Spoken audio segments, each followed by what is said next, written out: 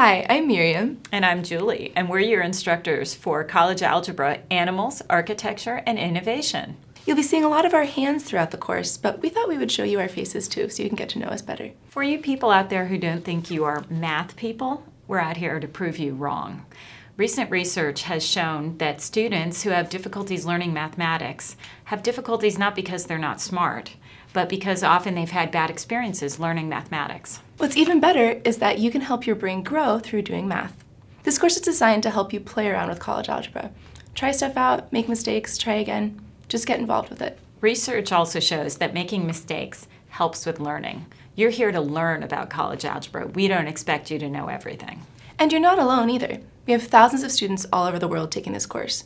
Talking about math can actually help you learn it better, and the forum is a great place to do this. You can ask questions about things you don't understand, or even just about cool algebra-related things. This is probably pretty different from other math classes you've taken before.